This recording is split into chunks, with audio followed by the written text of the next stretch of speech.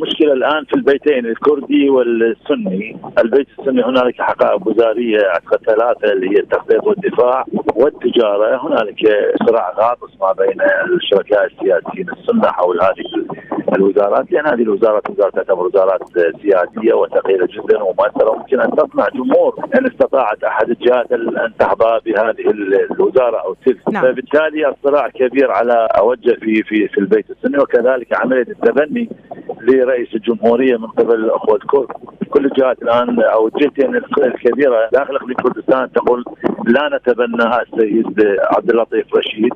صار التنسيق حقيقة كان هنالك بعض الإشكاليات اللي موجودة. أنتم تعرفون إنه في السابق كانت هنالك كتل سياسية كبيرة.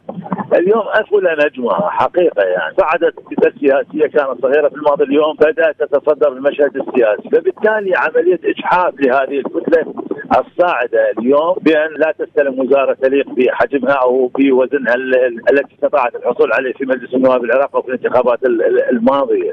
اليوم الحكومة حكومة توافق وتوازن وشراكه كما أعلنوا عن الشركاء السياسيه، هذا اللي الموضوع اللي كان موجود وأعتقد الآن